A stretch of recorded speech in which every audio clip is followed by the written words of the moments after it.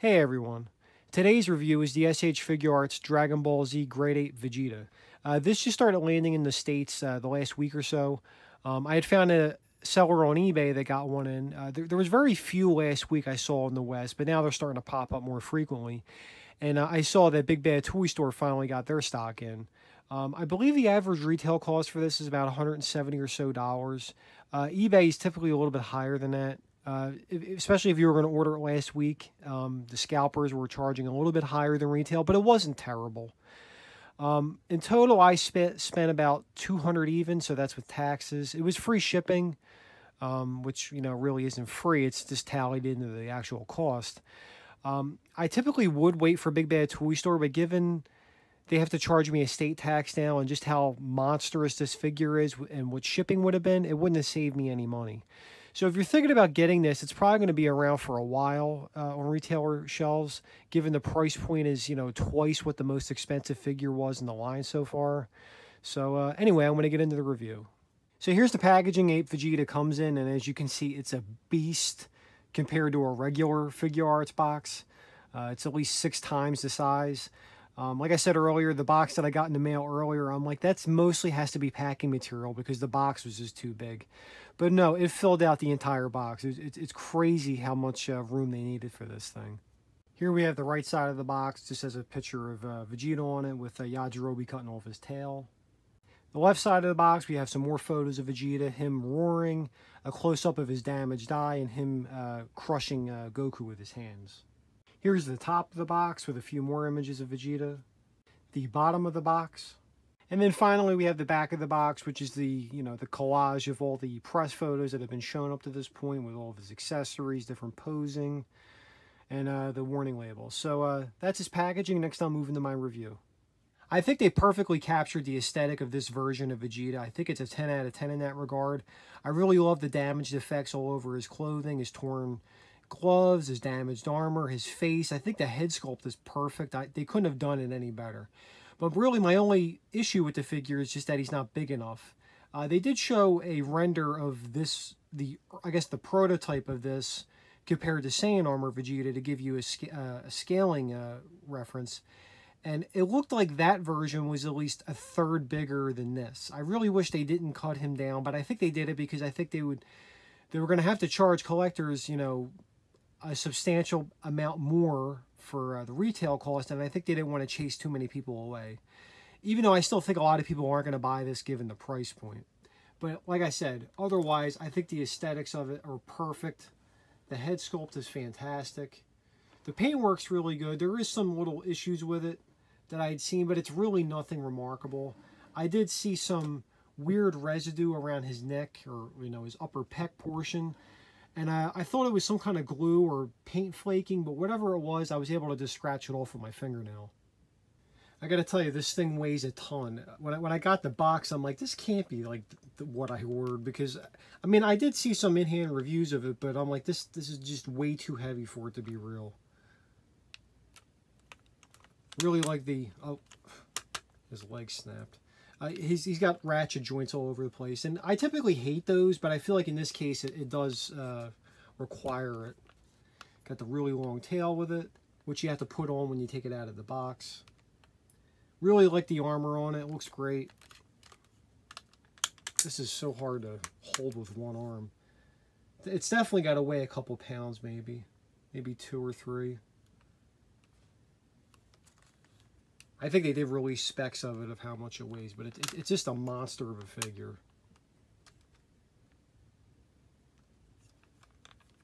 I already have a place set up for it on my uh, my display shelf. And I kind of thought I gave it too much room, but now I don't think I did. I think I gave it just enough. So here's a quick height comparison between Ape Vegeta as well as Saiyan Armor Vegeta and uh, the Kaioken exclusive Goku from I forget which Comic-Con.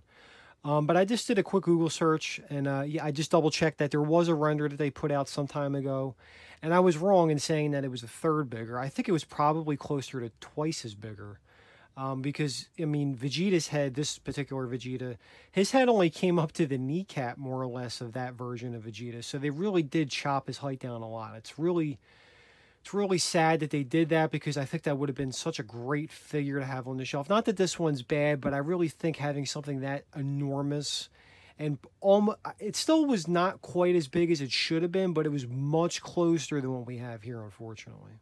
So the head articulation is very similar to what we have with the smaller figures. You can hear how stiff that joint is, and I'm really happy about that given how much this figure weighs because it does need that support. Um, you can't rotate side to side at all, even with the neck. All the other Figuarts figures you can do that, but this one you can't. Um, you can go forward and down, uh, forward and back. You can bring his chin down to his uh, the upper portion of his chest armor. You can bring his head back, but you can't bring his head back too far. And then lastly, you can open his mouth. And now this is one of the only other issues I really have with the figures. I don't feel like the mouth opens up quite enough. And it looks like it's some camera tricks on the on the, uh, the, in the press photos on the back of the box. That you, it looks like you can open it more than this, but unfortunately, this is all you can do. So starting with the arm articulation, uh, the uh, the shoulder uh, pads, um, there is a little scowl portion here that has to wrap around the joint that connects into the shoulders. So I feel like the, the best way to have this display would be to push these in as far as they can go to try to hide that. And honestly, I think this looks better like that because if you have them out, you see the interior portion of the shoulder. So this is actually the correct way of having it. As for the arm itself, you can bring it out a solid 90 degrees. And again, I said this is on a ratchet joint. So it will be snapping in certain angles. You can actually, okay, you can actually go a little bit higher than a 90. You have your standard swivel joint. That's the uh, connection point between the bicep and the shoulder. You have your double jointed elbow but it really doesn't want to bend any more than that. It's just a few more degrees than 90. For the wrist, you have your rotation 360 around. There also is a joint in here for bending the, uh, the wrist itself. And uh, it's probably like 25 degrees or so. The shoulder joints can be uh, shrugged up and down. So I can bring him down that far. You can see that there is a discrepancy in the heights here. And then I can bring it up and then you have to just pinch the arm into the armpit and now they're they're pretty much symmetrical. This also has butterfly joints in the chest and they're actually really good. Uh, the only issue is when you bring them forward you would reveal all the in internal housing of the chest cavity but uh, it's quite quite nice how far forward you can bring in his arms and I guess it's specifically for the uh, the you know crushing Goku hands which I'll be showing you in a little. Lastly, you can move his arms around 360 degrees at the shoulder joint. I have to show you with this arm clearly because I can't I can't move the arm because of that shoulder pad. This one isn't on a, a ratchet joint at all. This is just a ball joint, but it's a really tough ball joint. You actually have to put some force behind it to uh, get it to move around. For his torso, he's got two points of articulation. The first one is this mid-ab crunch, which you can see here. And uh, it can only really move one little hinge. There is a ratchet joint in here. And you can see that's just that's the full range of motion with that one. Uh, but you can also rotate slightly from left to right. This one doesn't really have that much resistance compared to uh, much of the other joints in here, but it's it's pretty solid in there. The uh, the waist point of the torso, as far as I can tell, can only really rotate from left to right I'm trying not to move this and only move this, but it's kind of hard to do that. But this is his only the only distance I can really get with it. So this really doesn't offer anything. Now for his legs going outward, like I said, these are all on ratchets. Going outward, it's very limited, and that's as far as I could go outward. You can rotate his uh, leg at the hip, just like all the other small figures, but it's very limited. Going forward with his leg is uh, actually pretty good. It's on a ratchet joint just like going outward. And uh, you can give him a pretty good front kick. Although going backward, you can really do that on most of the figures. This one you can't at all. His giant butt cheek gets the way, and you just can't move this backward. He does have double jointed knees, but he really can't move any more than this. Then finally for his feet, you can rotate his feet uh, downward and upward, and it's a pretty good uh, range of motion. As you can hear, this is on a ratchet joint as well. Uh, going side to side is very limited. It really doesn't want to move any more than maybe 15 or 20 degrees uh, each way. And of course you have your, uh, your toe bend. And this one's uh, pretty good. Most of these are always loose on these figures, but um, this one's uh, pretty stiff. I almost completely forgot about his tail. You can't articulate the tail. Um, so we have a peg here that's going into the main body of the tail. This is fixed inside. I'm sure you probably could get it out, but I don't know why you would want to. But when you get this, when it's inside, the, when you take it out of the box, the peg here is pointing upward and it's kind of like pressing against the body. Trying to like unhinge that to put this in was quite difficult. But once you get the tail in, moving this is really no trouble at all because you have the leverage.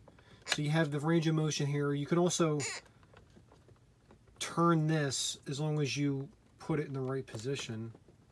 Okay, there we go. So you can rotate uh, 360 degrees all the way around as long as you put this in the right position to have the leverage to turn it. And then you can move downward or side to side depending on which way you have it. And of course you can also turn this around. You can hear how uh, fixed in the, uh, the tail is.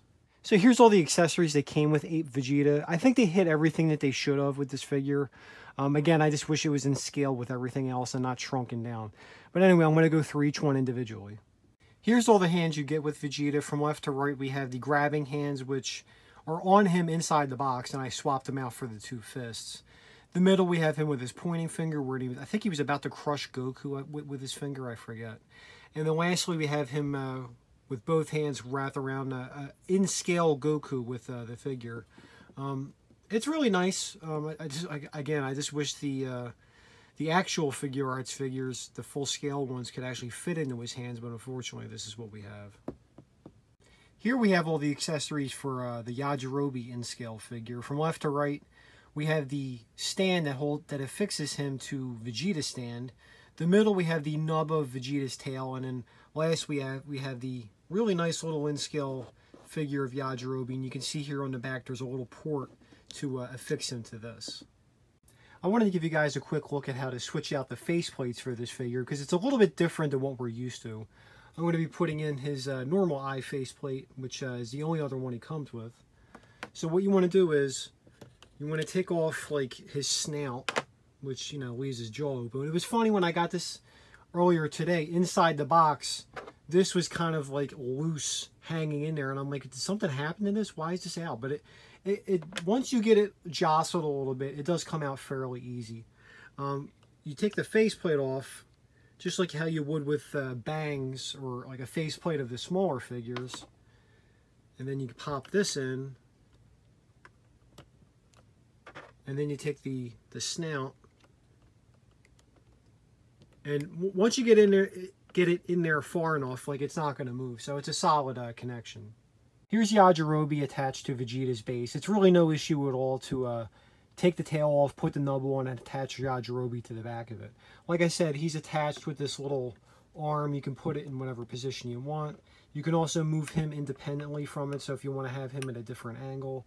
And uh, here's the uh, the tail, and you can, you know, still articulate the tail in whatever position that it's in.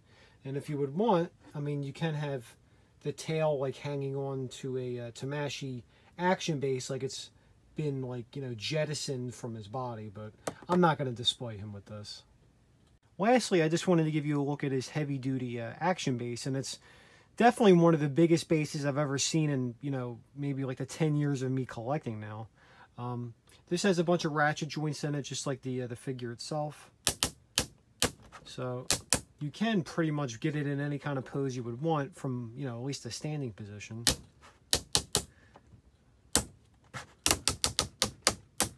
So that's the full range of motion of this. Uh, you can also move the, the arm section independently from it. Like, I don't know what you would want to do with this going this far backward, but I just wanted to show you that. And you can also move the, uh, the arms itself.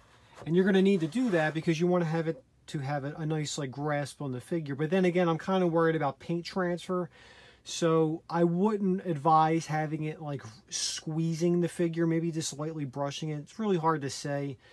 In the future, I'm sure we'll have at least somebody say that maybe there was paint transfer, but who really knows. So anyway, that was my review. Next, I'll move into my final thoughts. So would I recommend you buying Ape Vegeta?